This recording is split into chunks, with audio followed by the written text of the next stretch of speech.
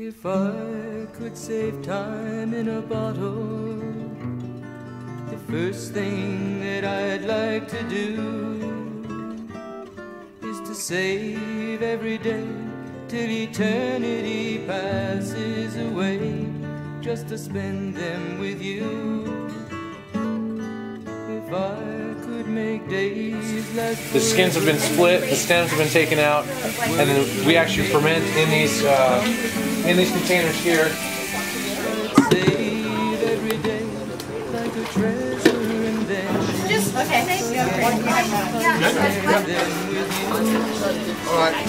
Way up there. Way up there. Licensed and bonded and Yes. inspected. It's the Asian cabinet, a small little AC unit on this side.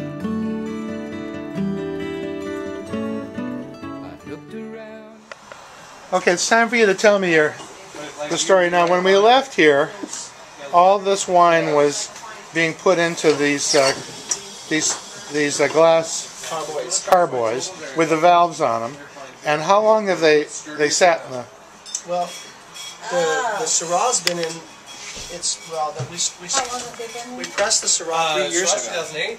So Okay, well that's that that's not the one that. Uh, that's no, that's you guys saw 10 Cabernet, the one that's up, uh, right?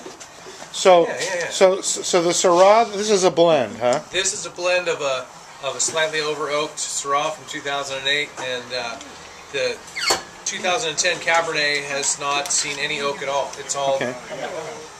And the the 2010 Cabernet is the one we saw. It's in the first film and the one we saw. right. And it's all been sitting here in glass because you didn't Yeah, want it to get any more oak, uh, any more oak flavor.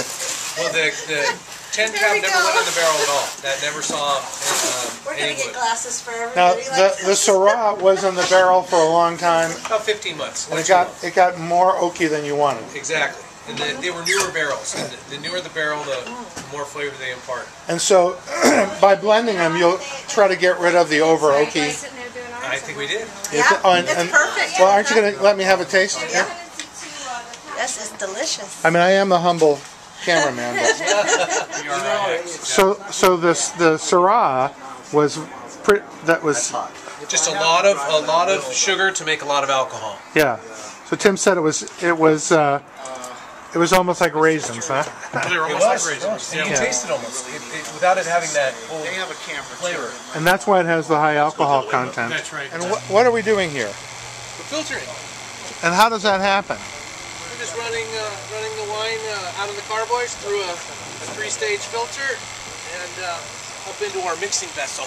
And then They start off nice and pristine. oh, that's the that's the unused filter, That's huh? before. All right. Okay, this is the filter, what it looks like before you get cleaned out, so just been used. And that now, that was done by experimenting. You you had different. Lots So it's a very scientific uh, procedure that we went a through. lot of effort. So what A I lot of drinking. I mean, Well- you have to try all the what I wanted to know is uh, where where's the lab? The lab. I don't see the lab. There is no You're in the lab. She I mean- unfortunately passed away a couple years ago. All right. so so you um uh, you t- you try on error Right. and and until you get it and you say Now, This is it. Christine, hooray We we've have got some- it right. Some even older Cabernet here from 2005 that we're going to go. It got a little over to oak too. or That we're going To to go glass. one to one. Oh. So 2010 Cabernet with 2005 Cabernet I don't think that's at a at a one to one. have you got a, a name for your for your blend? I know that a lot of wineries have have names. I don't. I think- You gotta think of what you need to do is get a branding consultant. Okay. The job. T- you're the corker. I am the broker. Okay. I'll bet- have you ever been called that before? No, it's the shrink wrap gun that will heat and melt the little foil caps. They're not really foil. These are more like a plastic with just a foil top. So Tim, how did you guys decide to do this? Uh, Tim's father is an alcoholic.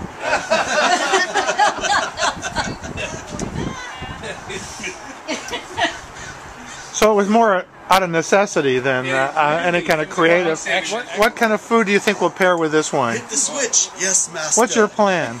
I don't know, but it's got to be something that's going to have some. Uh,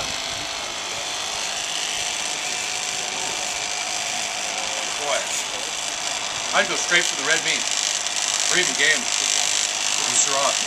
The Syrah is really dominant.